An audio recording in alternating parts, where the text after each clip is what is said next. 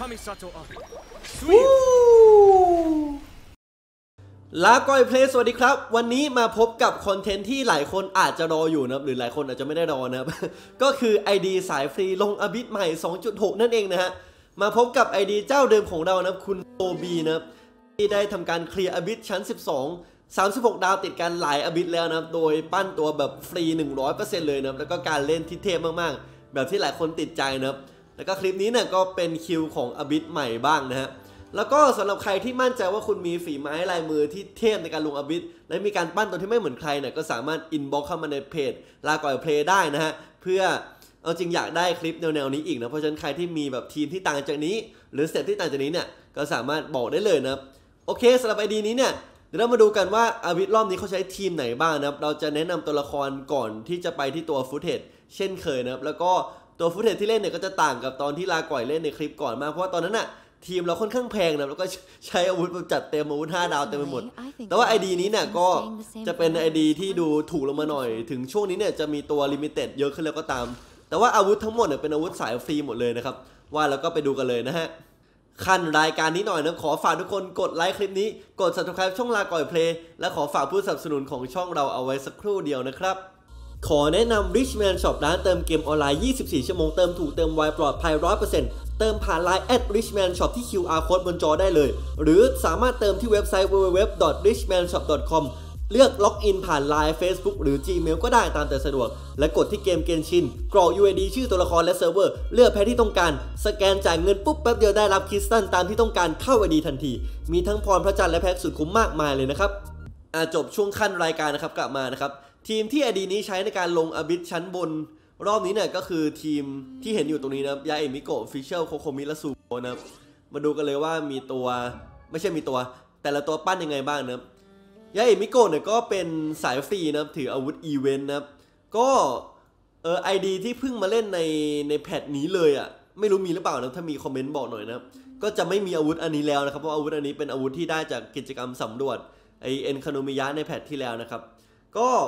เมนต์บอกหน่อยแล้วกัน เพราะถ้าเยอะเนี่ยอาจจะต้องหาอาวุธที่ใส่แทนให้ได้ แต่ว่าอาวุธชิ้นนี้เนี่ยก็นับเป็นอาวุธที่ดีมากๆ ถ้าใครที่ได้มานะที่เข้ากับยาเอมิโกะได้ดีเลยนะครับบวก attack เปอร์เซ็นต์แล้วก็ Energy r e c h a r g e นะแล้วก็ artifact ก็เป็น a t t a c เปอร์เซ็นต์สองอันเลยนะไม่ได้มีเซตสายฟ้าแต่อย่างใดนะแล้วก็กลุ่มดาวศูนย์นะครับพรสวรรค์เนี่ยก็ถือว่าเต็มใช้ได้นะพรสวรรค์ E เนี่ยเต็ม 10 เลยพรสวรรค์ Q เลเวล9นะ crit rate crit damage ก็ประมาณนี้นะครับก็ถือว่าคัด artifact ได้ดี ก็คือผมคิดว่าถ้าใช้ artifact เซต attack บวก18% 2 2เซตแบบเนี้ย มันสามารถคัดออปรองได้ดีมากๆนะ เพราะฉะนั้นก็ลองลองดูได้นะครับโอเคนะ แล้วก็ฟิชเชลนะเป็น Stringless นะครับขัด4นะครับStringless ขัด4เนี่ยบางไอเดียจะไม่มีไม่มีเพราะอันนี้เป็นอาวุธกาชา แต่ไอดีสายต่อให้เป็นสายฟรีที่เล่นมาสักพักแล้วเนี่ยก็มีโอกาสที่จะได้ธนูนี้เหมือนกันนะครับถ้าไม่มีถึงขัด4เนี่ยขัด1ขัด2อะไรเงี้ยก็ได้หมดนะครับผม แล้วก็ใส่เซตเหมือนมิโกะเมื่อกี้เลยนะฟิชเชล C3 talent level 9กับ 6 นะครับผม ก็อัตราส่วนประมาณนี้ก็กลางๆนะครับ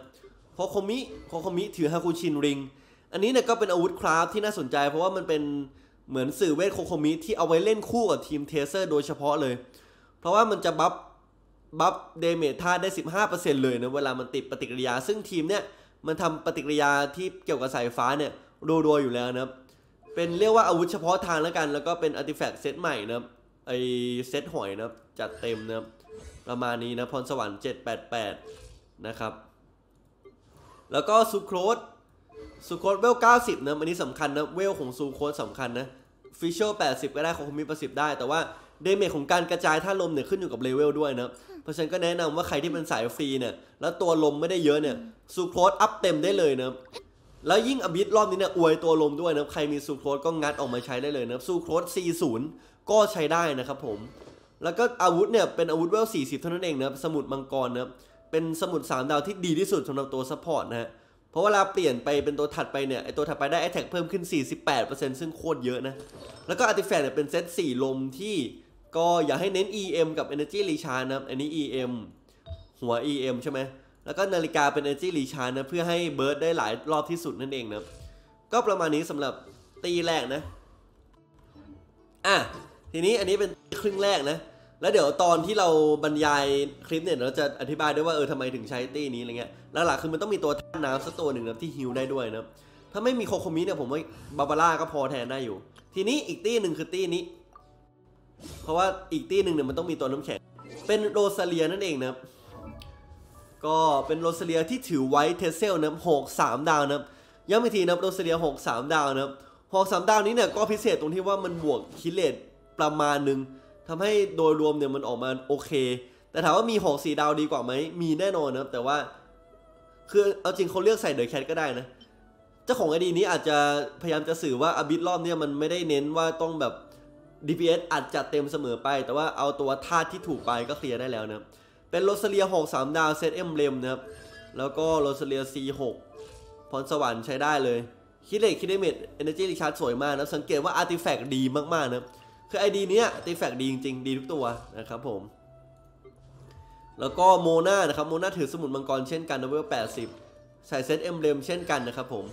Mona 40นะครับ Mona เนี่ยเอาจริงเหมือนมา combo ด้วยเฉยๆแหละนะ ไม่ได้มีอะไรไปมากกว่าตัว buff damageแล้วก็ Bennett นะครับ Bennett Skyward Blade คือเป็นตัวที่ขี้โกงที่สุดใน ID นี้นะอันนี้เป็นดาบที่ที่ต้องบอกว่าไม่ฟรีที่สุดแล้วใน ID นี้นะถ้าถ้าจะมีอะไรที่เอื้อมไม่ถึงก็อันนี้แหละ ID ลาก่อยยังไม่มีเลย โอเค จัดเต็มมากนะ Bennett นะครับ4 5แล้วก็ตัวสุดท้ายนะ Diona นะครับ Diona ถือ Favonius Warbow คือสังเกตว่าตี้เนี่ยตี้ Abyss ครึ่งหลังเนี่ย ตัวที่เป็นตัวตัว DPS จริง ๆ ไม่มีด้วยซ้ำนะคือโรซาเลียโมนาเบนเน็ต เดียนาเนี่ยมีตัวฮิลสองตัว แล้วก็ตัวบัฟตัวหนึ่งแล้วก็ตัวที่แบบอะไรเบิร์ดวางไว้บนสนามได้อีกตัวหนึ่งครับประมาณนี้เองนะครับตีนี้นะครับเพราะฉะนั้นอะมาดูกันดีกว่าว่า ในการเล่นจริงเนี่ยเขาจะเล่นได้ยังไงนะนี่ก็คือ 8 ตัวที่ใช้เล่นเป็นตัวละครในคลิปที่กำลังจะมานะครับ ก็เดี๋ยวไปดูกันเลยเริ่มจากชั้นหนึ่งก่อนเลยนะครับ อะมาดูกันนะฮะในการเล่นจริงนะครับ แน่นอนว่าไม่ใช่ลาก่อยเล่นนะครับ ต้องเป็นเจ้าของ ID เล่นอยู่แล้วนะฮะเพราะถ้าลาก่อยเล่นเนี่ยอาจจะไม่ผ่านนะฮะมาถึงเนี่ยก็เจอห้องที่ควยตัวลมที่สุดใน Abyss ในประวัติศาสตร์รอบปีนะนี่ครับก็เทคนิคหลักของห้องนี้เนี่ยก็คือเอา Sucrose เป็นตัวรวบนะครับพยายามกด burst บ่อยๆ เพราะว่า burst ของ Sucrose เนี่ยก็รวบได้ดีแล้วก็ต่อเนื่องกว่า skill ดีพอสมควรนะฮะแล้วก็ที่เหลือเนี่ยก็กด skill ผมก็ไปนะ Fischl ก็ปล่อยนก ยาเอกก็ปล่อยเสาแล้วก็ Kokomi ก็ออกมายืนยิงนะครับระหว่างที่ไอตัวซามูไรเนี่ยมันตายหมดแล้วนะครับระหว่างรอ wave ใหม่นะครับก็เอา Miko ผ่าสลับไปด้วยแล้วนี่ครับพอ wave ใหม่เกิดปุ๊บก็เอา Sucrose เหมือนเดิมนะครับกด E ตรงกลางนะครับคือเราสามารถให้ตัวเราเนี่ยเหมือนล่อมอนเดินมาใกล้ๆไอตัวลมของ Sucrose ได้ เพื่อรวบทุกตัวเข้ามาใกล้กันมากขึ้นนะแน่นอนว่ามันไม่ได้เร็วเท่า Venti นะคือถ้า Venti เนี่ยพริบตาเดียวคือทุกตัวมันลงมาตรงกลางหมดแล้วนะแต่อันนี้ก็จะต้องให้ Kokomi เนี่ย วิ่งไปวิ่งมาแล้วก็แปะแปะแปะไป Miko ก็เต้นเต้นๆไป Fischl ปล่อยนกพอสมควรนะในการที่กว่าจะดึงมอนมารวบๆกันได้นะใช้เวลาสักแป๊บหนึ่งนะโจนี้เดเมจเนี่ยก็กระจายไปเรื่อยๆนะมีมีการกด burst Miko โดนซามูไรสองตัวพอดีเป๊ะนะเลือดน้อยทั้งคู่ Fischl เปิดนก Kokomi เปิด burst แล้วพยายามเอาให้ลงโอ้ยเอาจนได้นะซามูไรครับยิงไม่ทันนะคืออันหนึงก็คือต้องฆ่าสมุไรสองตัวพร้อมกัน ถ้าเราฆ่าไม่พร้อมกันเนี่ยอีกตัวหนึงมันจะหิวเลือดขึ้นมาประมาณครึ่งหลอดอะไรเงี้ยนะแล้วก็เนี่ยเดเมจที่มาเรื่อยๆนะก็เคลียร์จนได้นะทีนี้อีกฝั่งหนึ่งฝั่งเมื่อกี้เนี่ยก็ใช้เวลาไปประมาณหนึ่งเหมือนกันนะ ประมาณนาทีครึ่งเลยนะ ก็เป็นเวลาที่ต้องบอกว่าไม่ได้เร็วเท่าไหร่อะนะ แต่ก็ไม่ได้นานมาก แต่เนื่องจากอาบิส12 ห้องหนึ่งเนี่ย มันง่ายครับ โดยเฉพาะไอ้ห้องหุ่นยนต์เนี่ยเนี่ยเปิด Bennett เปิด Mona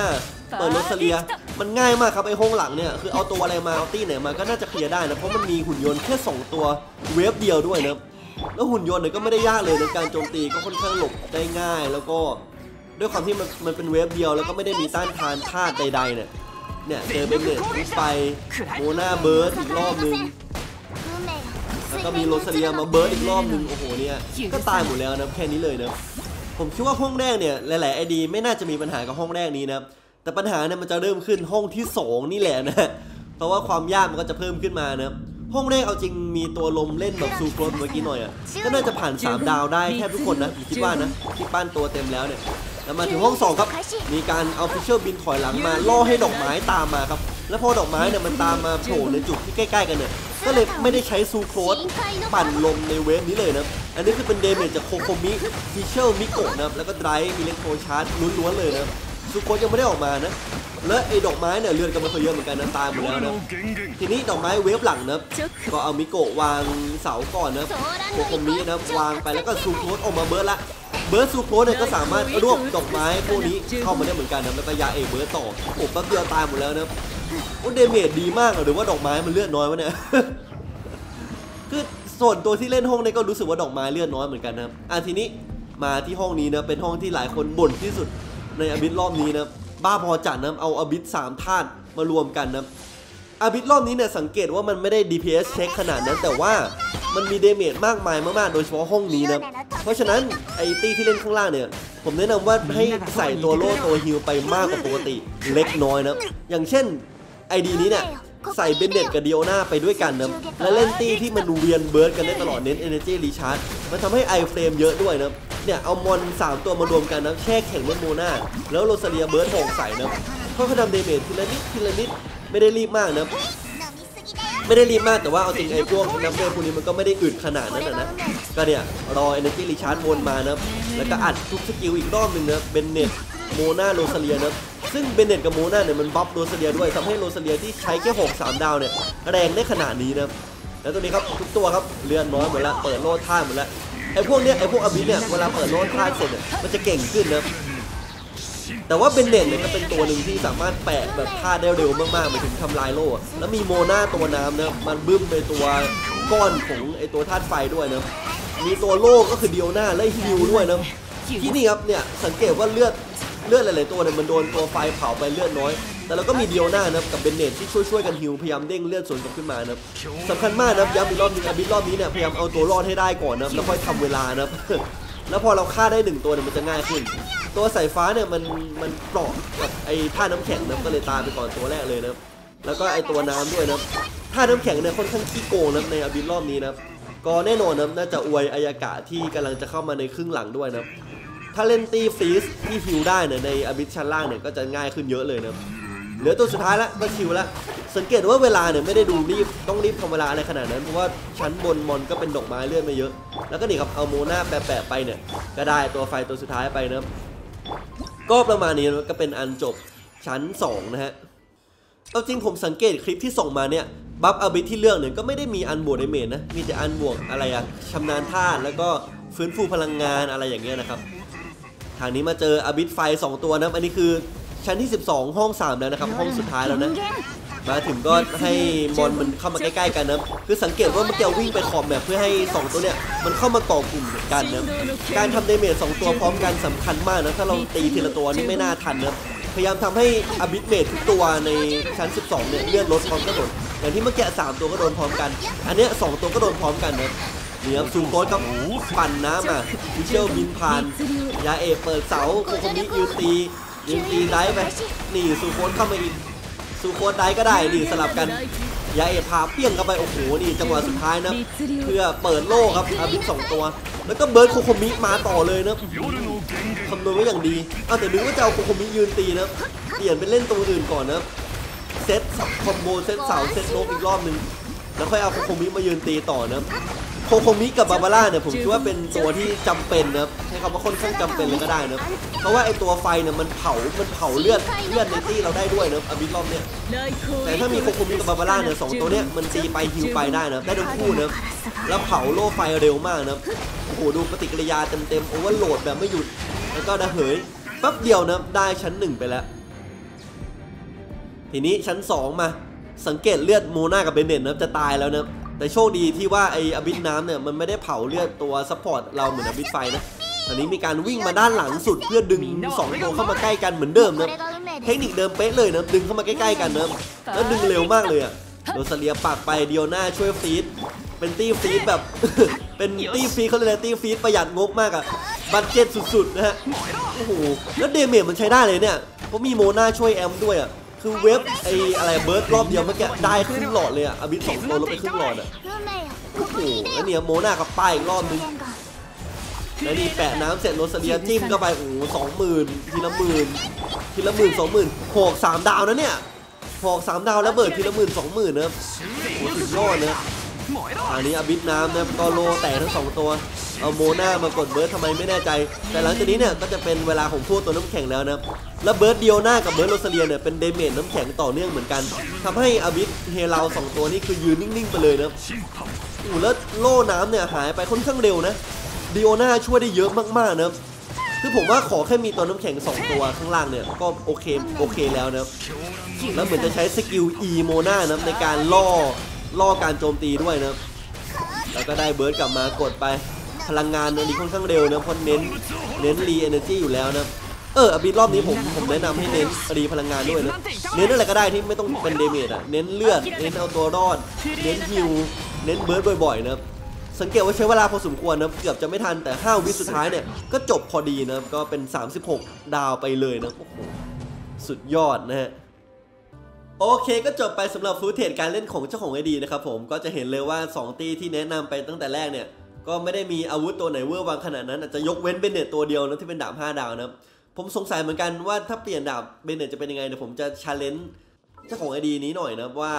รอบหน้าเนี่ยไม่อนุญาตให้ใช้ Skyward Blade ดูซิจะใช้อะไรแทนนะให้ใช้ Favonius แทนนะ